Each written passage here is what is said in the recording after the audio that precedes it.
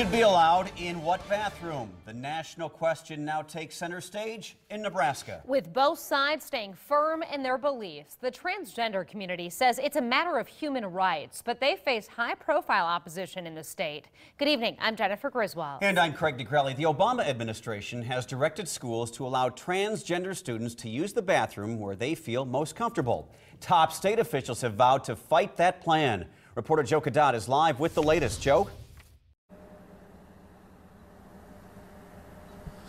Craig, Jen, Governor Ricketts says it's not just about preventing transgendered students from using bathrooms shared by the straight students that they share the sex they identify with, but it's about standing up to a federal government that Ricketts says continues to impede local and state laws. Others we spoke with today say it's not that simple. Attorney Joni Stacy says the guidelines released by the Department of Education last week shouldn't be controversial.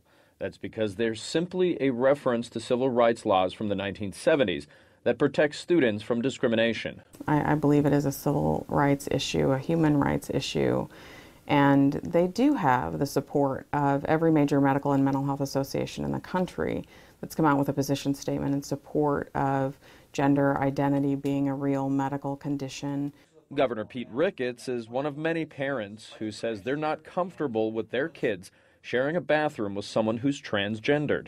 Ricketts has three teenage children. So, as a parent, I would be very concerned if somebody of the opposite gender was trying to use the same bathroom as my child. And here is a case where we have got to make sure we're thinking about the privacy rights of the vast majority of students. Ricketts says he opposes the Department of Education guidelines not only because of who uses what bathroom, but because he is sick of the federal government making local decisions. I said this to all the school boards as well. I urge you not to be bullied by this federal administration. This is the way the Obama administration wants to operate.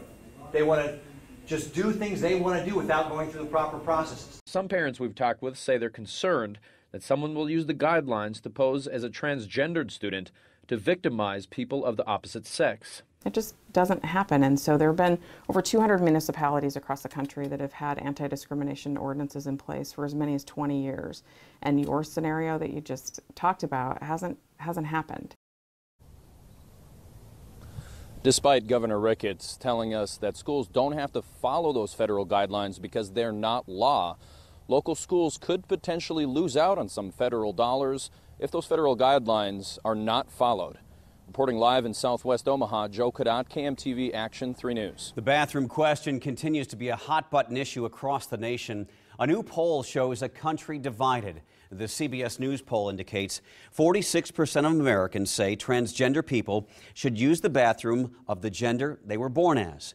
41% believe it should be the one they identify with. The poll showed regional differences, with the Midwest and South opting for gender at birth. The survey asked Americans if state and local leaders or the federal government should set bathroom guidelines for transgender students. The majority opted for local leadership, 57 to 35 percent. Treat all of Nebraska's youth the same or